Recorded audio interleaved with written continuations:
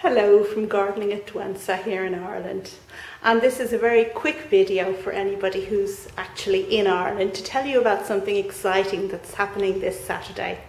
So on Saturday, the 2nd of December, here in the Art Bank Bunclody, is going to be a launch of my book, Journal of an Irish Garden by Rachel Darlington, and you're all invited. So basically, the Art Bank is an art gallery and it sells various paintings by local artists and also a book by a local artist, someone you might recognise. Does that mean anything to anyone? The news is out, of course, because the nationalist Carlow's newspaper has a feature today on the launch of my book. There we go. YouTube gardening sensation Rachel launches new book in Bunclody.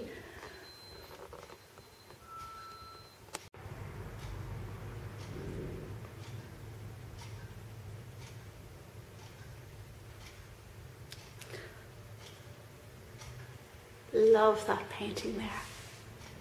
Lara Kamateras is the artist.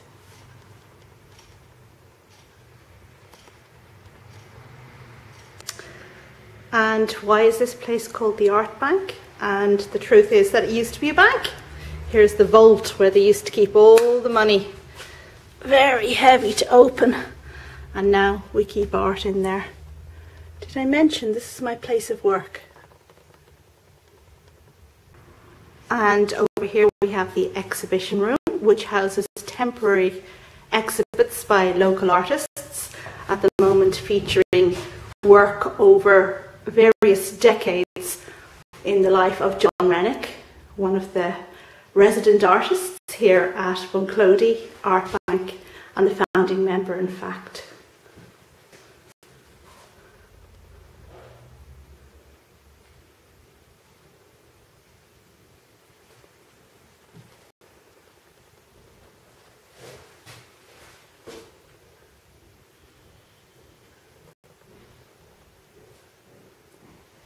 And the Art Bank also does a lot of workshops making mad things like this ridiculous penguin here. And um, we have my colleague over there, Jonathan, who's busy making something else. What you making there, Jonathan? This is the head of a snowman. Indeed, is it now? Show me. Decapitated head. Made with what? Body. Excellent. So, no man. He's just the wrong colour. Yeah, he needs a little touching up. Right. Not very well. Papier mâché is the answer to your question. Excellent. Okay, so I hope you liked this little look around the art bank.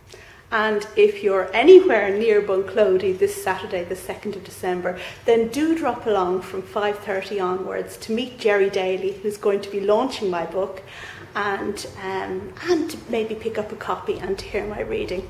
I hope to see you there. Thanks very much. Bye now.